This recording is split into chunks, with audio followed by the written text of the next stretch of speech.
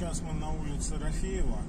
Данная улица имеет две полосы для движения в одном направлении, но, как правило, первая полоса у нас занята припаркованными транспортными средствами.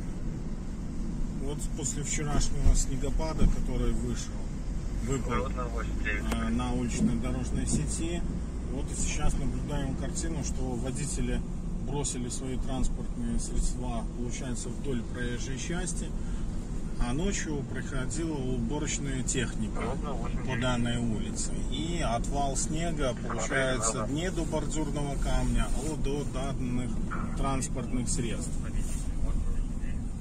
И вчера также прошел дождь, и немного снизилась температура. Поэтому сегодня водители вынуждены не просто выезжать с этих мест, а им нужна лопата, которая позволит им разгребсти сначала это место, потому что настолько плотный снег, что ногой у них этого не, не получится.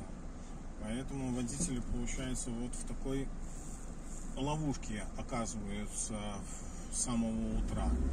Поэтому как бы рекомендациями может какие-то такие, что все-таки после снегопадов стараться вдоль проезжей части свои транспортные средства не оставлять. Хоть оно и разрешено правилами дорожного движения в определенных местах, но все-таки воздержаться. Это все-таки будет полезно и для коммунальных служб, потому что они смогут полностью убирать снег с проезжей части до бордюрного камня.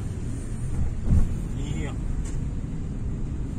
ширина той же полосы останется в положенном метраже, потому что с учетом отвала этого бывает так, что полностью водители не попадают в свою полосу.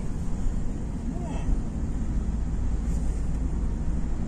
еще хотелось бы также порекомендовать, это как мы сегодня утром наблюдали, все-таки стараться очищать боковые стекла полностью от наледи, потому что, как сегодня показала практика, наши водители очищают только треугольничек, который попадает э, под боковые зеркала, а дальше начинают движение с наледью, и их обзорность полностью ограничена.